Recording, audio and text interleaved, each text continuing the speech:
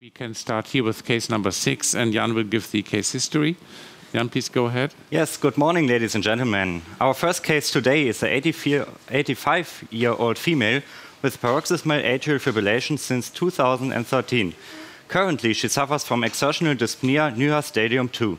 Her past medical history includes coronary artery disease with a CABG in 1998, peripheral artery disease with several PTAs, carotid endarterectomy in 1999, hypertension, hyperlipidemia, and pre-syncope. Her chest RESC score is 6, her CHADS score is 2, and her HAS-BLED score is 2. Her ECG shows a sinus rhythm with a heart rate of 70 beats per minute. Her Holter ECG showed intermittent atrial fibrillation with a mean heart rate of 94 beats per minute. TTE examination revealed a left ventricular ejection fraction of 65%, mild LA dilatation, and mild tricuspid regurgitation. Thank you, and back to Professor Sievert, please. Thank you very much. So regarding the indication, this patient would probably fit into the PROTECT AF trial uh, because she does not have a formal contraindication against anticoagulation. But Oh, as we discussed yesterday, uh, uh, I believe that this is an alternative to anticoagulation, LA closure, and not just for those patients who cannot take it. Uh, we just introduced the uh, TE probe. Laura is doing the echo. And Laura, can you give us the first thing we look for when we do LAA closure is to look for thrombi in the left atrial appendage because if there's anything in there, then we should certainly stop. So, uh, Laura, can you show us what you see on echo there? So Yeah. I am now live at 135 degree, and um, I just discovered um, um, our appendage is multilobal. At least it has two lobes, and um, on the left is 135, and on the right is uh, something about uh, uh, zero degree. And the big concern, what we are uh, discussing now, uh, let me show you. So it is this structure here. So, what is that? Is that a thrombus or it is just muscle? Ask the audience. Yeah. Okay, um, let's see if we can ask Oliver what that structure is. Now, Oliver, press the button in front of you.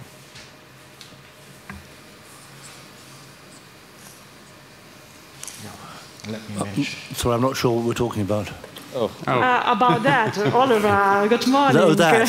yeah. Oliver, Oliver is awake and not sure. outside Europe. Let me measure the biggest one here. To Come on, Oliver. Is No, this a sure thrombus or is it something else? There are two lobes. here and then. Yeah, that's 13. Okay. Kevin, help.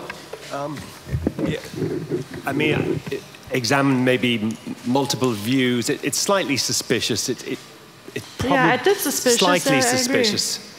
Okay. Only slightly. All right, uh, John, John Carroll, where are you? Yep, what do you think this is? You were on your computer, not concentrating. praying. Uh, press the button on the microphone if there's one in front. Yep. We're trying to work out whether this is thrombus in those one of the two lobes. Well, maybe. So it maybe is not. Chuck- Yeah. i- i- John? It's not mobile, so that's that's Yeah. one thing.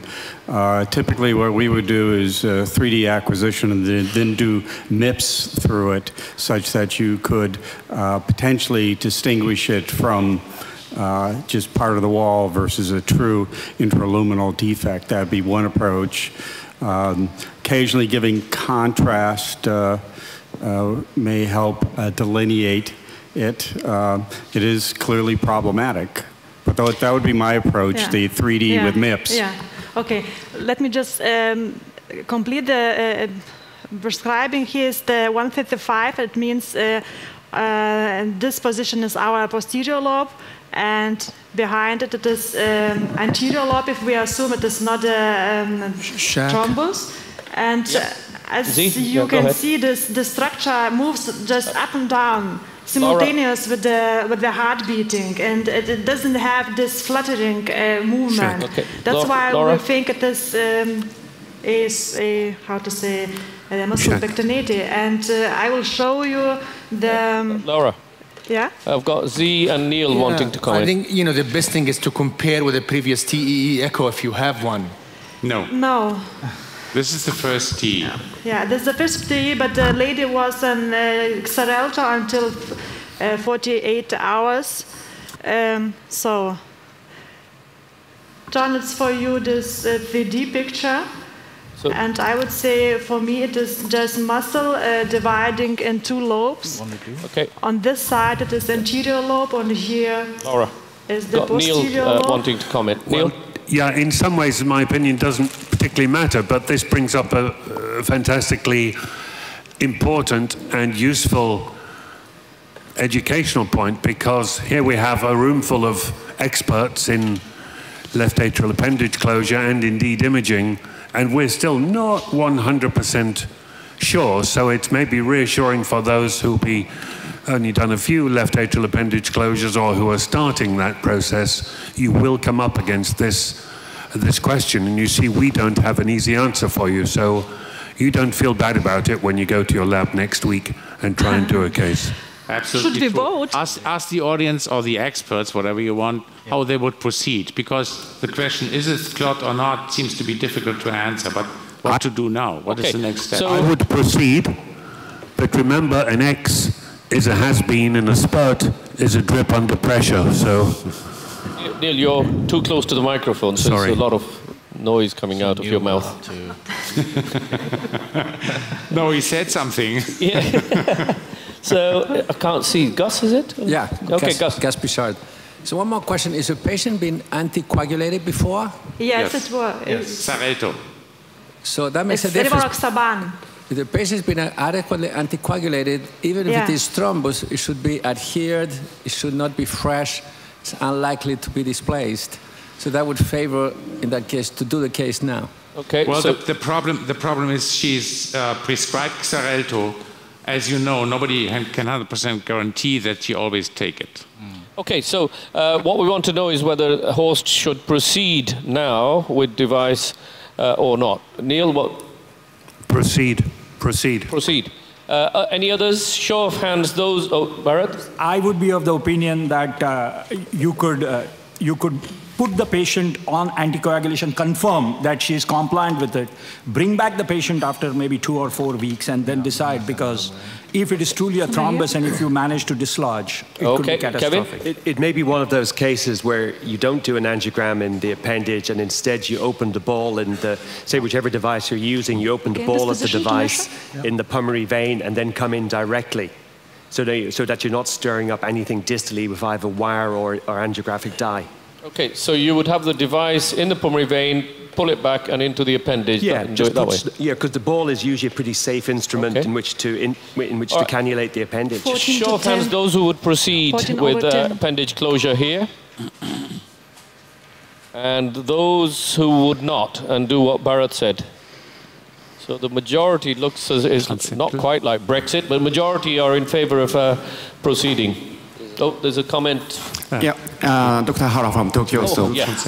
uh, if you, you can use the ice catheter like um, St. Jude View Flex into the LA, from the LA, uh, the um, resolution is better, so you can uh, uh, uh, confirm what it is. Okay, so ice catheter to try and resolve the question. But what should uh, the ice catheter show us? Uh, should it be different uh, what we see now? Well, well, it should show the same picture, I think. Yeah, I think so. Good. okay, so which device? I have St. No, St. Jude. Okay, so Horst, first Yeah, question: SL1, yeah. Are you are you going to proceed? Yeah. Yes, Okay. we will. All right. Now the next question is which device. So uh, before we go into the sizes, any suggestions of the type of device here, Oliver? Very quickly. So this one. Um, I, I'd- probably do what Kevin was suggesting and use a use a St Jude device. A Jude but, uh, but not poke too much down the bottom of the appendage. Okay. So John, Carroll. Well, of course, where you have a rather limited perspective, only having the Watchman available, but I, I did have some experience with the uh, St. Jude amulet device, and I think that's very easy to use, and, uh, and I think uh, here in this situation with slight uncertainty what's in the left atrial appendage, it would be nice to just have a very straightforward, quick procedure and uh, close off the left atrial os. Okay, Z? Well, I think you know any device should should work here, and uh, as John said, you don't want to manipulate anything. You want a quick procedure, because I'm I'm not sure, but there is high probability that this is a thrombus that may get dislodged. Uh, so, I, I do have a general comment or question. Is uh, there any, uh, I mean, help in using uh, embolic protection devices in that kind of situation? Can you try to use that? Okay, uh, um, Horst, did you hear that one about uh, embolic protection? It's a good idea. We don't have one available, but that's something we discussed here. So, uh, we Hi- don't have it in the lab. so that's Hidehiko, what would you use uh, when closing this? Uh, Hara? Dr. Hara, where are you? Yes, I am here. Uh, what device? Oh yes, uh, it seems um, that YY is here, so I, I think uh, um, Lambre is a very good one. Okay, I think.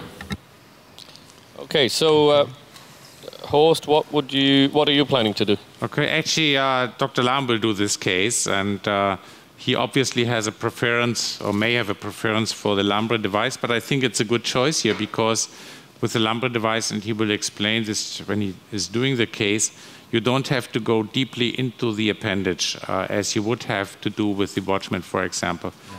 Uh, but he's now doing the transeptal, and we should uh, uh, watch this. So the sheath is in the SN-SL1 sheath, right? Yeah. It's in the superior vena cava, and uh, Laura, we need long axis Yeah, and short a axis. Yeah, yeah. Wait, something here. I think I have to be uh, fair. I think uh, for this case, um, if you worry that that's really a thrombus, uh, that's exactly sitting at the anterior lobe. And so uh, for Watchman procedure, you really have to position the sheet deep in that lobe. Then will be a bit of concern. I think I would be happy with any this type of device like amulet, Lambria, which you can actually opens uh, the, the lobe or the umbrella outside the appendage and then you gradually push in. That I would be more comfortable. So not necessarily Lambria, but Lambria is, is an option. Yeah. Horst, you've got a wide experience of different devices. Uh, what about the Occlutech one? Have you in this with situation? The, uh, yeah, with the Occlutech, you also have to go some way into the appendage.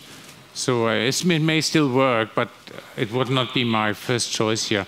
A device like Lambre or ACP or Amulet, I think, has the advantage, as Kevin mentioned. Okay. Look at the puncture site. So you're puncturing inferiorly and posteriorly. Is Yeah. that what you're doing? Yeah. Okay. That's uh, about the site. I'm going through it now.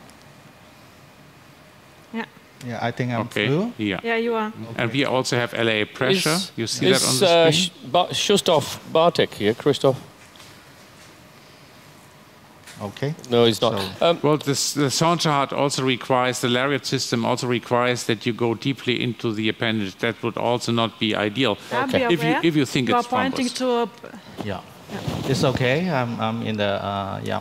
Yeah, you are not in the LAE, but Put the dilators out as well. Yeah. I would prefer to put a wire in. Okay, okay. Yeah, slightly Uh, different heparin at from. this point? Yeah, we should give heparin. first, here. Uh, how, how's the weight of this patient? Uh, we usually give 10,000. Okay. So I give 10,000 heparin in this case.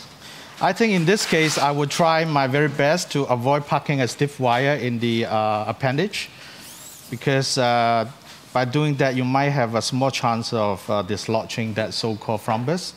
So that's why I would like to bring a wire to the pulmonary vein for exchange. Uh, okay, cannot- so we cannot do that. That's three five wire. That's That three-five. Okay. only accommodate, ah, okay. accommodate Yeah, uh, yeah, three, yeah, three to yeah, five. yeah, yeah. So we have to exchange it. So this one. So uh, what kind of sheath for the device would you like to have? Um, Double curve or single curve? I think I would take the double curve. Yeah.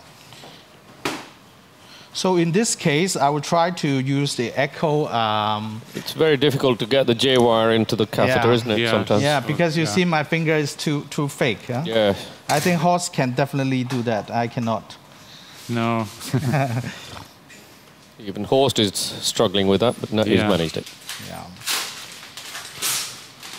So to bring this wire to the pulmonary vein, uh, you need to, uh, I would advance uh, the wire out first a little bit. Oh, you are advancing in. Uh, a- a- a- and then I would do a clockwise rotation. Okay. You see, it points posterior, and then I goes to the pulmonary vein. That's the technique that you avoid uh, actually putting the wire uh, in the appendage.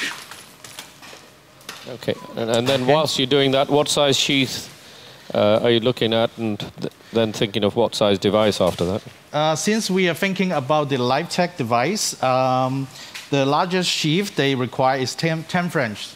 I think I, I normally would go for 10 French because I don't want to change the sheath. Uh, I mean, uh, at some time during the procedure, if the sizing is not right, so I need the stiff wire. Yeah, this can pull out. Yeah. So uh, it's interesting. He had the uh, dilator still in the transeptal. Then he exchanged Yeah, that's For- vein.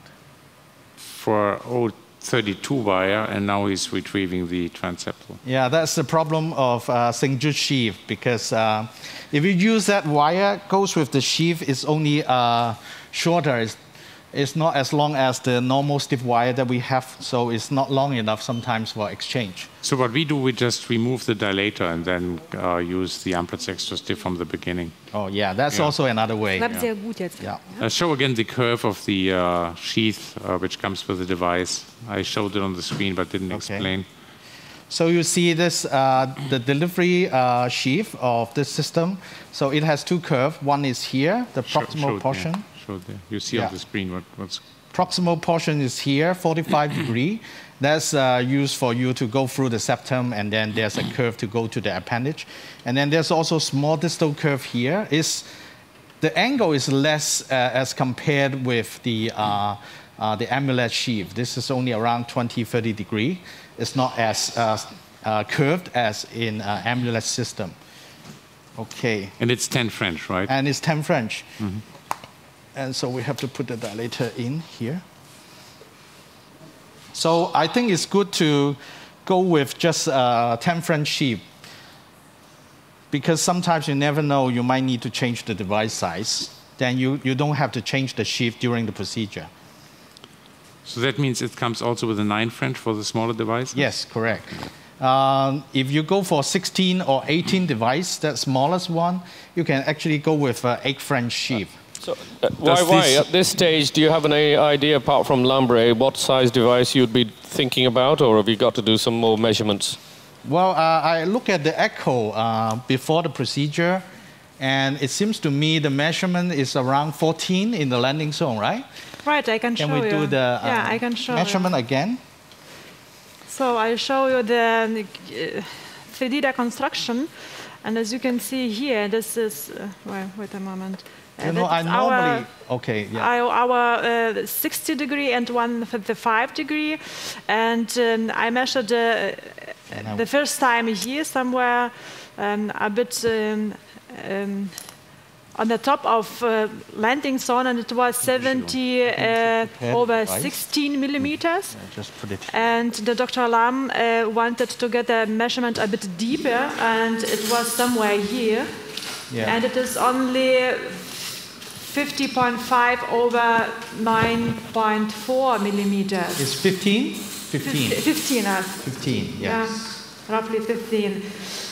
Yeah, and um, um, here we can see that uh, to this muscle, pectinate muscle, the distance is only uh, approximately 5, 6 millimeters. Yes. Could you please put the blue plane on the muscle part uh, on the 3D echo just to see if there are two holes? But, sorry, I didn't understand. Say that again. If you could put the blue back a little plane, blue plane on the uh, structure in the apex of the uh, uh, For the of plane, cutting plane, you mean? Yes, yeah? exactly. Okay. This. Two millimeters. Which device size? I couldn't. tell. Um, I think we need to go for a special type Mhm. because I think the orifice is actually quite big. Mhm. So if we go for, let's say, it measures 15, we choose for uh, 18 then it would be 24, the, the, the disc. So if we go for a special type, then the disc would be larger. It would be around 32. Yeah, that would be nice. So why, I think why? I have to, hi. Is there a minimum distance uh, of space needed before you say there's not enough room for us to deploy a Well, I think six millimeter would be enough. And also, for this device, it's very important if you have pectinate muscles in the appendage. So not just the, the, the, the shallow, because sometimes if it is very shallow, uh, it's difficult. But if you have pectinate muscles, when this device roll out, it will get caught in the pectinate muscles. Then it will be very stable. Okay. And in this particular case, I think uh, uh, I would try t- not to do a LA angiogram because if this is thrombus, then when I do the angiogram, it will just flush out the flush out the thrombus. So what I normally do is I do an injection, uh, pointing the delivery catheter to the roof of the atrium, and then when it flush back, I can roughly know where's the ostium of the appendage. That can be used as my roadmap. Okay. Uh, what injection speed do we want to have for the? Yeah, we'll just do an injection uh, in the roof. Uh, Yeah. How much contrast and what? I think around 10 mil will be fine. Okay. Yeah, let's see. Now I'm still in the pulmonary vein, so I pull, pull out the whole system. Advance the sheath. Okay. Yeah. What is the distance between the two markers? Uh, the distance between two markers is 10 millimeters. Sometimes, if you want to use calibration, you can use this also as uh, uh, the reference. Inner side to inner side? Yeah, or- inner side to inner side. Does the sheath have side holes? Uh, no. So why, why? Yes. In this case, you're obviously going to uh, use a device without any left atrial Just- appendage angiograms. Uh, no, Yeah. because we have excellent echoes here, so we don't need that. Yeah, that was in my, this particular case. My, question But was, if you don't have why echo, do you need to do angiograms in that case? Um, sometimes uh, you really need to know where the ostium of the appendage is. In this particular case, if you look at the echo, the pulmonary vein ridge is very long. And um, you know, there's a one stage that you have to manipulate this catheter into the appendage. Um, it would be nice if you have some. Um, yeah, yeah, of course, of course. When we are doing MitraClip, we do this all the time. But um, uh, just just showing you that a way that you can also get some roadmap without direct injection into the appendage. Which uh, projection would you like to have? Maybe Ario Kodo? Okay. I have a question about injection. Should you go for hand injection that could be more, I mean, soft rather Yep. than machine injection? Well, it doesn't matter. I just try to. You see now, I'm trying to pointing it uh, more towards the roof. Yeah, can we just do an injection here, maybe? Test injection first. Okay, test injection. Which? Uh, about five. Uh, we are still in the pulmonary vein. Yeah. Yeah. So oh, are you are now. Now we drop. Behind so the- I try to turn it to the roof. Okay, let's do uh, cine here. Okay. Sinner. So you see, roughly, I know the uh, appendage. So I'm not directly inject into the appendage, but this is, um, um, well, still, it, it shows you some, some pictures here. I think it would be nice if I can pull back this sheet more. Then it would be nicer. Uh, this is not a very good demonstration. Like if I can pull back it here and then I just give uh, maybe just four to few, four to five mil contrast, it would be nice. John? Question Just comment? give a little bit flush here, like. Yeah. Could, could yeah, we see that's, a, that's what I want. a left I mean, atrial pressure here before I can and after? have a roadmap where the appendage orifice Uh, why, why? Yeah. I've got a question or comment uh, from uh, uh, John Carroll. John, go ahead. I was wondering if we could see left atrial pressure waveform before and after, because one of the striking observations is that when you put these relatively stiff devices in, you acutely change left atrial uh, compliance, and V waves often get more prominent. It's- So let's show them the echo, video, please. Yeah. Uh, not the echo, the pressure. The pressure now is before. No pressure. The mean pressure is about 12 to 14. Okay. So keep this in mind, John, huh? Yeah. So we will do that uh, after we deploy a device. Mhm. Okay, so, so- now we can. Might Yeah, have we to can move you on a little bit. Yeah, we can show them the device. Uh, this is uh, not the standard device that we use normally.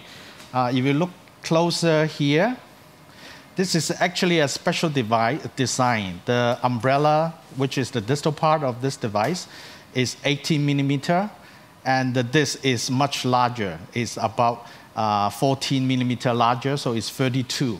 Uh, normally, if we choose a standard device, uh, the diameter of the disc will be only six millimeter larger. But judged from the echo, we know that this patient has very small distal lobes, but the opening is very wide. So that's why I choose a special type of device.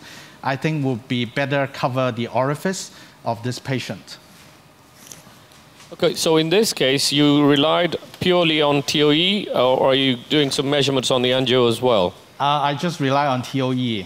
Okay, because so- I don't want to do the angio angio. uh, So you're not. Uh, how much oversizing have you uh, done compared with the TOE measurements? Uh, normally, you need around 20, uh, 20 to 25 percent.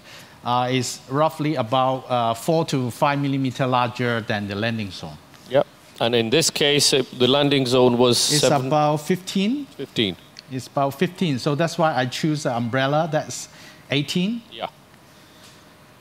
But uh, because the opening is so large, so that's why I choose a special type of device, which uh, the diameter of the opening is uh, very big. So Would you now like to Horst, uh, explain the different hooks of this device? Yeah, uh, this device actually has two hooks system. Um, maybe we can zoom into the device. Yeah, you see the distal part, this part, they, these are big hooks. It's like the frames of the umbrella that you have. And then on the shoulders, on the shoulders of this umbrella, you see very small hooks that helps you engage into the appendage wall. So there, there are two stabilizers. So from this zooming picture, you see very well. So let's see if I can point that. So this is the uh, small hooks for engaging into the appendage wall. And then uh, beneath, these are the bigger hooks.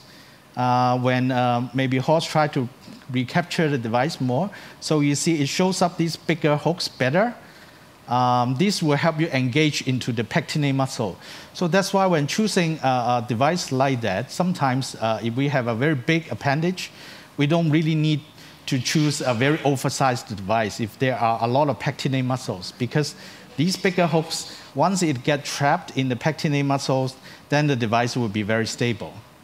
I think this is the key difference between this device and also uh, uh, an, an amulet. So just stay on that picture now. If you uh, stop there. Yeah. Or just before that, how many millimeters is that protruding now? I'm just trying to work out with this appendage with possible thrombus. As you de- start deploying, does it curl up straight away, or does it? Yeah. Yeah. So Horst try to deploy the device, so it will roll out. Okay. These hooks will roll out, and the membrane will also be uh, released.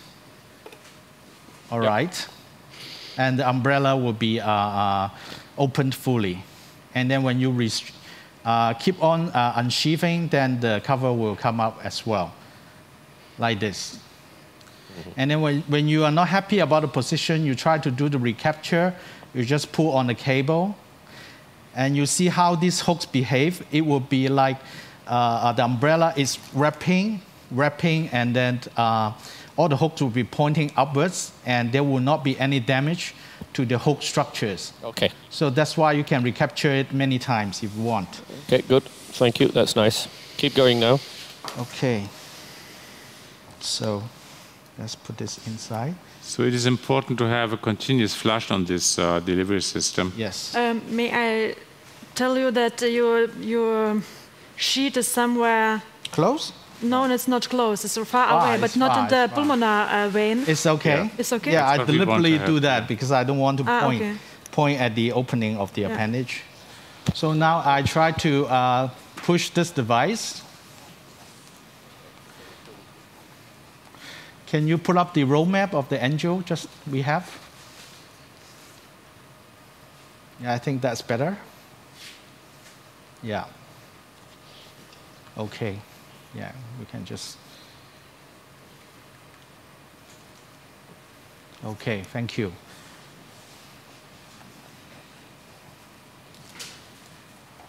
Okay.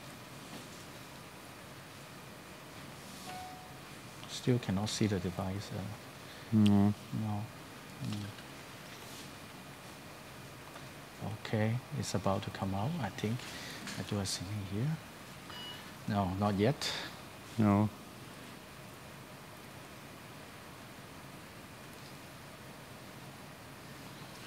Okay.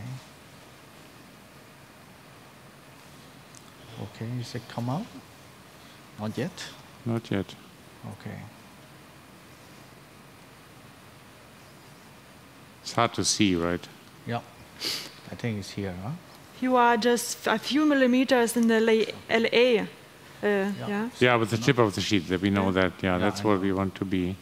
So we the see the hub of the device, so it's So now you see the connecting dots. There's a radio opaque marked uh, at the left lower corner. Uh, that's actually connecting the umbrella and uh, this. And you see there's uh, some uh, cluster of dots at the tip. Hmm. Uh, that's actually the, the most distal part of the device.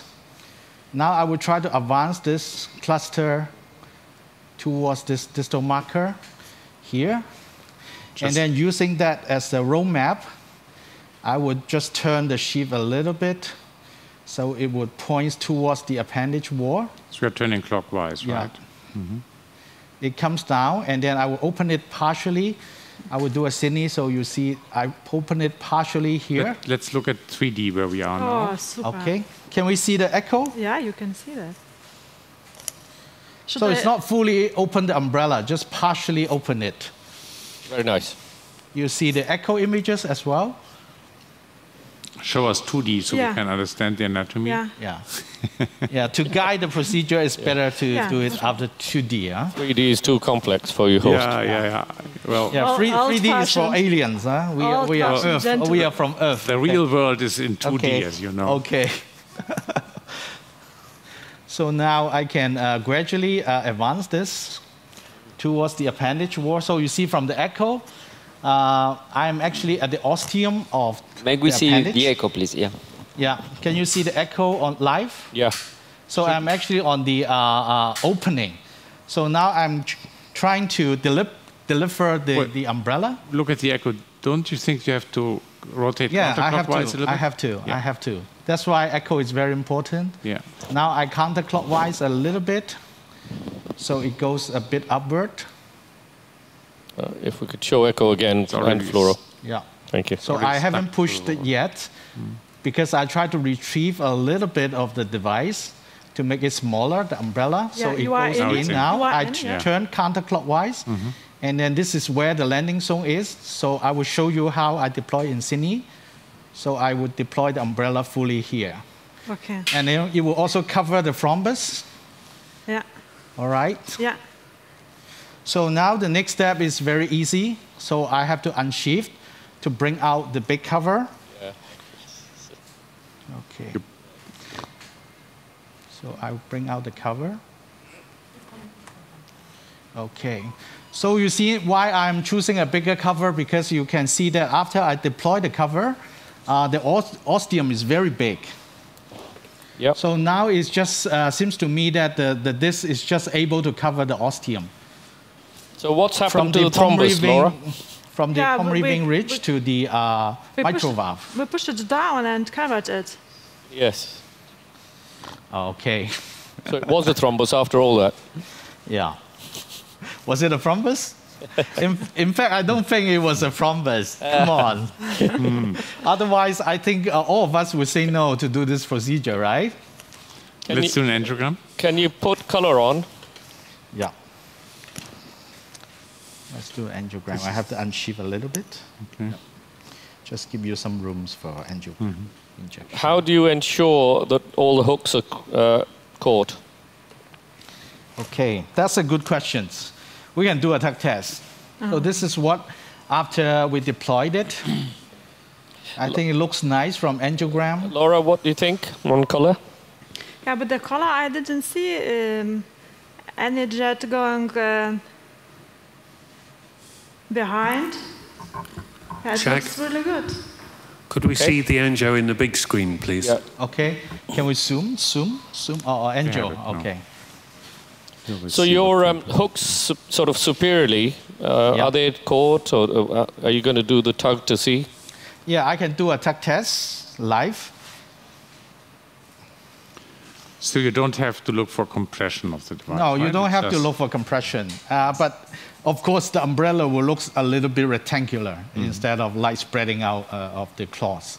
That's already a sign that it has some compression. Okay, so we you might don't have to move you a little bit, uh, measure. YY. So uh, can you do the tug for us? Sure. You want uh, how aggressive I do the tug test? Well, not too aggressive, please. huh? Okay. there's I thrombus show there. you the YY way, huh? Okay, that's quite aggressive, right? Mhm. Okay. Uh, not very, but yeah, okay. Ah. Not very, okay. Don't do more. okay. What's very aggressive? why? Why? I might have to speed you up a little bit because I think I'm going to be deported and I have to get a visa to come back. Okay. So I just deploy the device. You happy? Yeah. Okay. To deploy the device, uh, it's always good to advance the sheath because sometimes when you deploy, um, the cable might get caught. So I do it like this. So you apply a little bit of tension Yeah. while you're deploying? Yes, correct. So, Okay. Great. okay. Mhm. So I deploy the device. Final angiogram? Yep. Cine? Yeah, Cine. Keep this. Yeah, Davis with, I, I is screw it. Okay. Okay. Perfect. Nice. hmm Okay. why, why? That's that a good horse, case. huh? that looks excellent. Oh. Any last uh, final comments from you before we go to Vietnam? Jack? Yeah, uh, Neil. Pressure, pressure. Oh, John. Show me the pressure. Oh, left atrial pressure. Oh, hang on, hold on. So in the majority of people after left atrial occlusion, the V wave becomes more prominent because Can we go back to Frankfurt you've made the very quickly? chamber, You've taken away the most compliant and a fairly large volume from the chamber. So